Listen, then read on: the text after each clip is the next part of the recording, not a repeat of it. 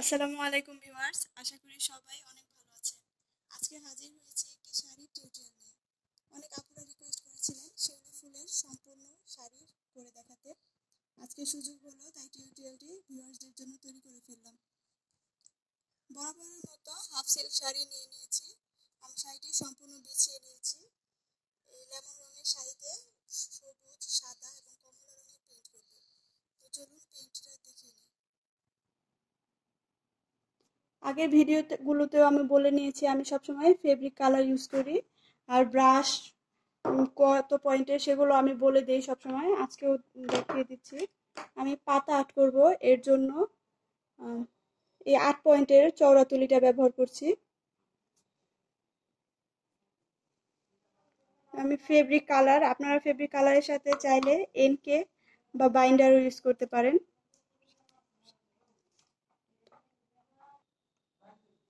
এখানে প্রথমে আমি ডাল টেনে নিচ্ছি। এভাবে। এরপর শুধু পাতা দিয়ে দিব। আমি এখানে খুব সহজ পদ্ধতিতে শাড়িটা করা দেখিয়ে দিব। আমি চাই যাতে আপনারাও করতে পারেন।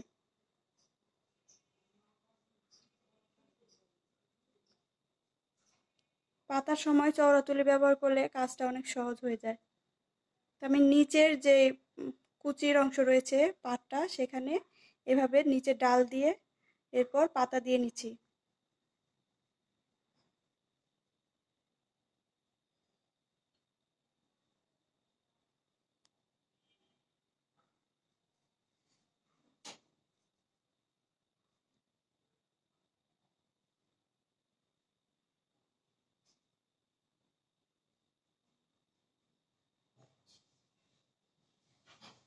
এভাবে সম্পূর্ণ করে নিচ্ছি। গুলি দেওয়ার পর আপনাদের কাছ থেকে যে ফিডব্যাকগুলো পাই, আলহামদুলিল্লাহ, অনেক ভালো লাগে। সবাই যখন আমার পেজে বা আমার আইডিতে নখ দিয়ে বলেন, আপু, আপনার কাজগুলো খুব সুন্দর। তো তখন তো অনেক বেশি খুশি লাগে। এভাবেই সবসময় পাশে থাকবেন। এভাবে পাতাগুলো দেওয়ার পর এখান থেকে আবার একটা চিকন ডাল টেনে নিব উপরের দিকে। এভাবে। এই ডালের পাতাগুলো খুব ছোট ছোট দিব।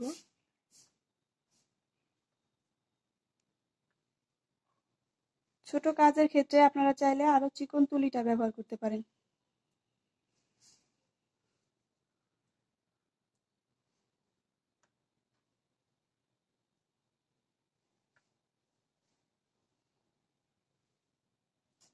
ডাল পাতা দেওয়া শেষ হলে আমি এক, এরপর শিউলি ফুল আট করে নেব। দেখুন আমার পাতা এবং ডাল আঁকা প্রায় শেষ। এখন আমি এই একদম পাড়ের যে অংশটুকু, এদিক দিয়ে শিউলি ফুল দিব এবং এই উপরের ডাল দিয়ে শিউলি ফুল দিব। এখন আট করে নিচ্ছি শিউলি ফুল সবার পছন্দের। এটা হলো ছয় পয়েন্টের চওড়া তুলিটা ব্যবহার করছি শিউলি ফুল আট করার জন্য। তো এখানে আমি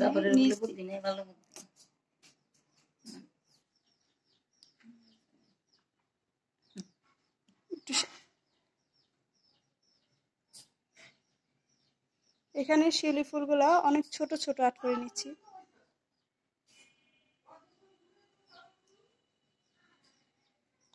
আমি এর আগেও একটা শিউলি ফুল দিয়ে একটা কামিজের টিউটোরিয়াল দিয়েছিলাম।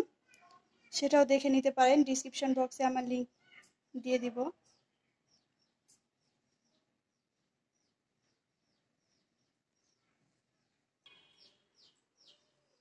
পাঁচ পাপড়ির এই শিউলি ফুলগুলো অদ্ভুত রকমের একটি সৌন্দর্য রয়েছে ফুলে। এই ফুলের পাপড়িগুলো কিন্তু কোনোটাই কোনোটার মতো একদম সেম না। তাই আপনারাও চেষ্টা করবেন যখন কাজ করবেন পাপড়িগুলোর মধ্যে আলাদা আলাদা রকম ডিজাইন দেওয়ার। একটু বাঁকা টাইপও দিতে পারেন। শিউলি ফুলের পাতা অনেক বাঁকাও থাকে এভাবে।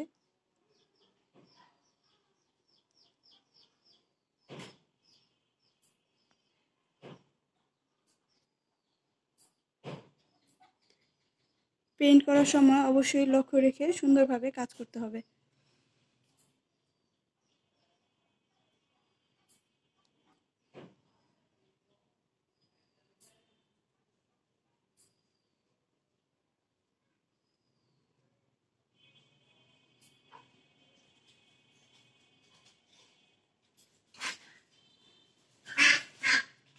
রং, শাড়ি এবং তুলি নিয়ে যে যাবতীয় প্রশ্নগুলো রয়েছে সেগুলো আমার আগের ভিডিওগুলোতে পেয়ে যাবেন।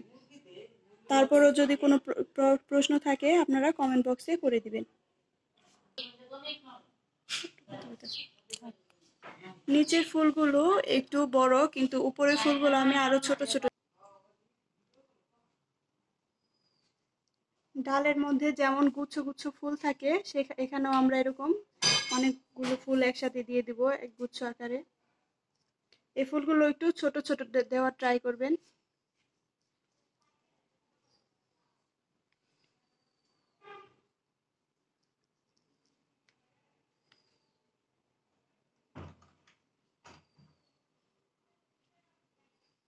এভাবে আমি সম্পূর্ণ ফুল দিয়ে নিচ্ছি গুচ্ছ আকারে।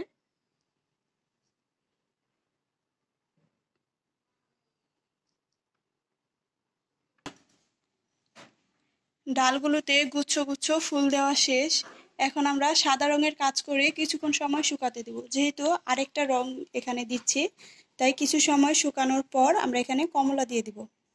কমলা রং দিব। এখানে যে ফুলগুলো রয়েছে, এগুলা ডাল থেকে পড়ে গেছে। এর জন্য এখানে আমি কমলা রঙের বোটা দিয়ে দিব আর এখানে শুধু কমলা মাঝখানে একটু দিব। হ্যাঁ এভাবে দিয়ে দিব। যে মনে হচ্ছে পড়ে গেছে।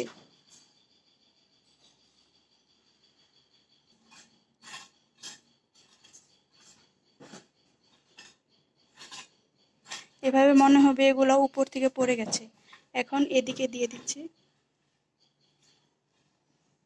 শুধু মাঝে বরাবর অল্প একটু দিয়ে দিলেই হয়ে যাবে সবার পছন্দের শিউলি ফুল।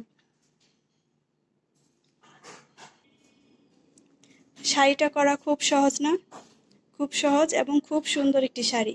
হ্যান্ড পেন্টের এই এক রঙের শাড়িটি বা আপনারা যদি চান, এই হাফ সিল্ক শাড়িগুলো বা এক রঙের হ্যান্ড পেন্ট শাড়ি, এই শাড়িগুলো অর্ডার করতে রংধনু মার্ট পেজ থেকে সহজেই অর্ডার করতে পারবেন।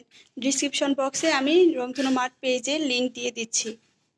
এছাড়া কাস্টমাইজ শাড়িগুলো করে নিতে পারবেন। তো হয়ে গেল যেহেতু আমার সম্পূর্ণ শাড়ি আমি আপনাদের দেখিয়ে দিচ্ছি। দেখে নিন খুব সহজে করা এই সুন্দর শাড়িটি। এটা হলো সম্পূর্ণ কুচিতে পড়েছে, এরপর আঁচলে এবং যে বুকের অংশ সেখানেও এভাবে করে নিতে পারবেন। তো কেমন হলো আজকে টিউটোরিয়ালটি জানাতে ভুলবেন না। সবাই ভালো থাকবেন, সুস্থ থাকবেন, আর দোয়া করবেন আমার জন্য। ধন্যবাদ সবাইকে।